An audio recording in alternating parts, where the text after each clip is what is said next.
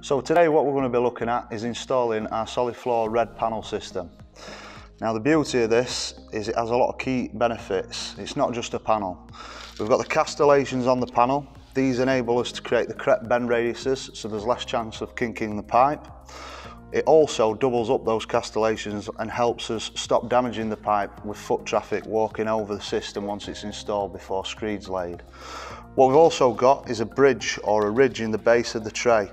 Now what that does is the pipe sits on that and sits the pipe off the base of the tray by around 10 millimeters, allowing the screed to fully surround the pipe, giving us a better contact ratio.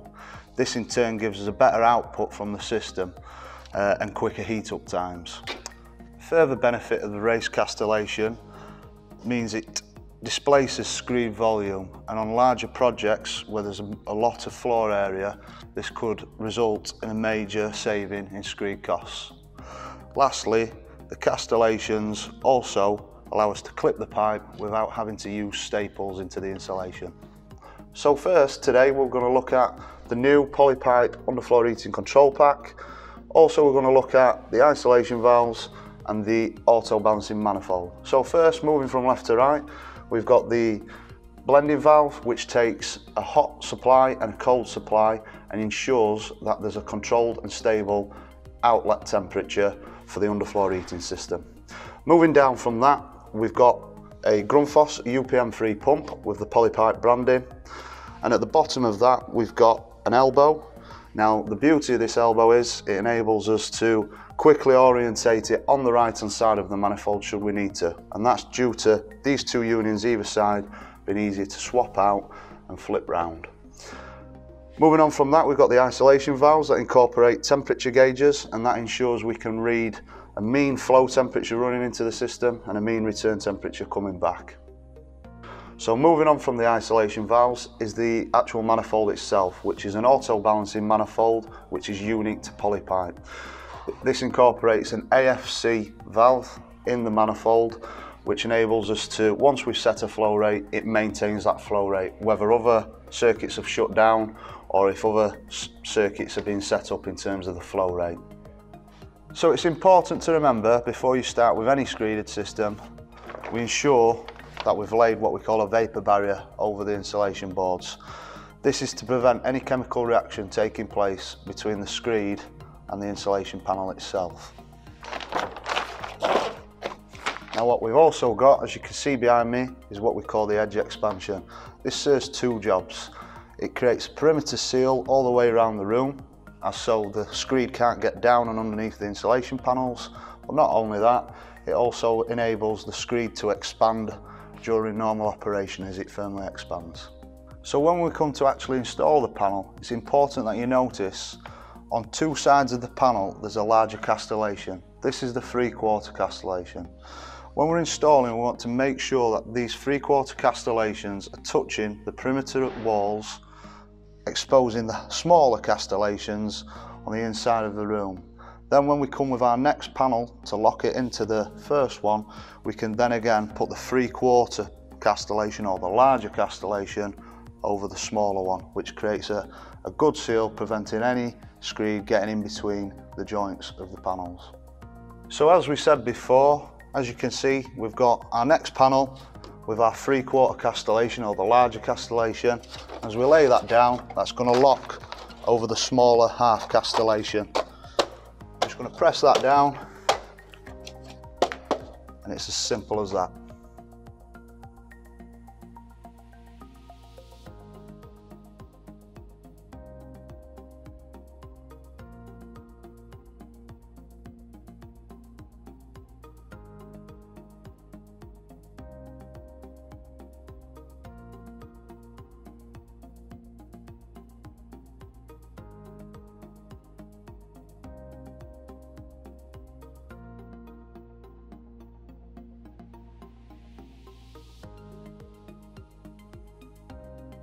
So now we've got to a point where we can't fit a full panel in on the edges. So even though you can overlap the panels, we don't recommend you do this by more than a couple of castellations. So what we're going to do, we're going to go to the workbench and I'm going to show you how to, how to cut a panel down. So when you come to actually mark up the panels to cut them to width, it's very important to remember that you take your measurement and you add on an additional 10 mil. That's purely and simply because when the three quarter castellation sits over the half, it actually elapses the panel by 10 mil. A good tip when you're coming to cut several panels of the same width is to stack them three or four high to give them more rigidity, clamp, clamp them to the workbench if need be, and then you can either cut them to width or length, either using a fine tooth handsaw or a circular saw. Okay, so as you can see, we've cut the panels to size, we've infilled them, locking them in place, and now we're ready to lay a circuit. Before we lay a circuit, it's worth mentioning a good couple of tips here. If we're doing a liquid screed, it's worth stapling the edges down to prevent the screed getting down the edges and lifting the panel.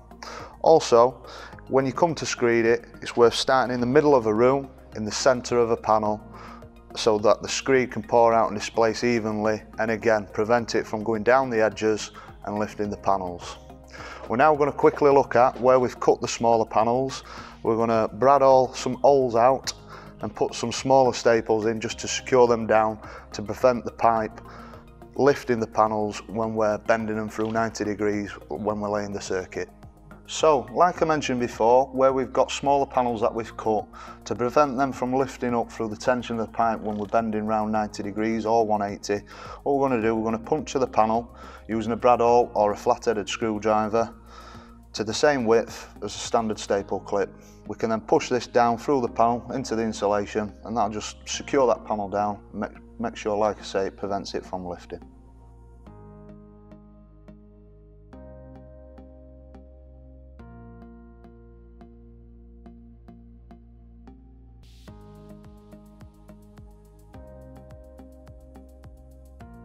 So now we're ready to lay the circuit. As always, we've ensured that we've cut the pipe square, pushed in a polypipe plastic insert, and we're just going to make sure when we push it into the fitting in the manifold that we get through the two clicks, the first one being the O-ring, the second one being the grab ring.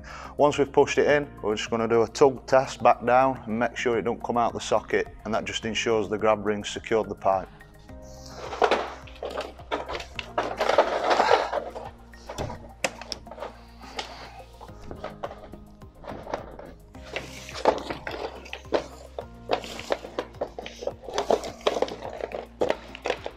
So as you can see, we've come to our first corner and what we're doing is we're trying to achieve a bifilar pattern, also known as a spiral pattern.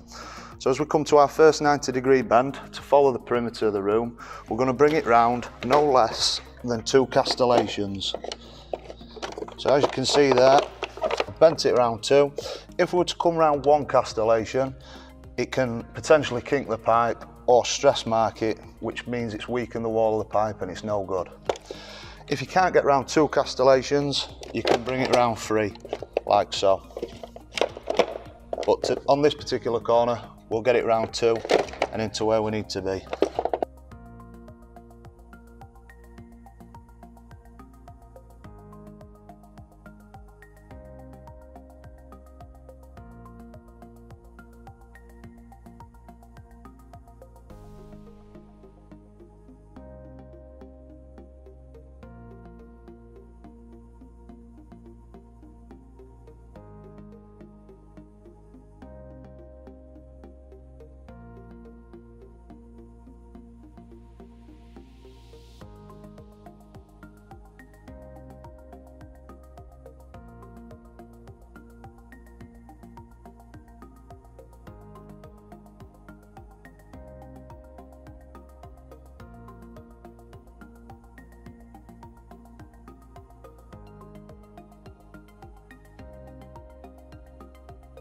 So as you can see, we've created our spiral pattern or bifilar pattern by leaving that 400 mil gap when we first started coming round. Our return has created the 200 mil pipe centres. It's important to note as well, when we come to a middle, that we come round no less than three castellations if we're doing a 180 degree bend. Now not every centre of the room is going to work out perfect, but so long as you're not stretching it around one castellation and potentially kinking the pipe, that's the most important thing. What we're going to do now, we're going to get our return cut to length, pipe insert in, inserting it into the return, and the job's done. So as we've laid the circuit, what we need to do next is fill the system And then once it's filled and fully bled of air, we can then move on to the pressure test. The recommended pressure test is 6 bar pressure for no less than an hour. It's also important to remember before we carry out a pressure test that if there is a pump pack assembly fitted, we need to make sure it's isolated from the manifold using the isolation valves that comes with the kit. So, as previously mentioned, one of the key benefits of the red panel system is the fact that the pipe sits lower than the level of the castellation. This helps protect the pipework from light foot traffic, hence I can walk across it. After the filling process and pressure testing process is complete, prior to the laying of any screed, we can drop the pressure down to 3 bar while the screed is being laid. It's also important to remember that if we're doing this process during any periods of weather of extreme cold that we take the necessary precautions so that we prevent the pipework from freezing. For further information on commissioning, please refer to our installation guide.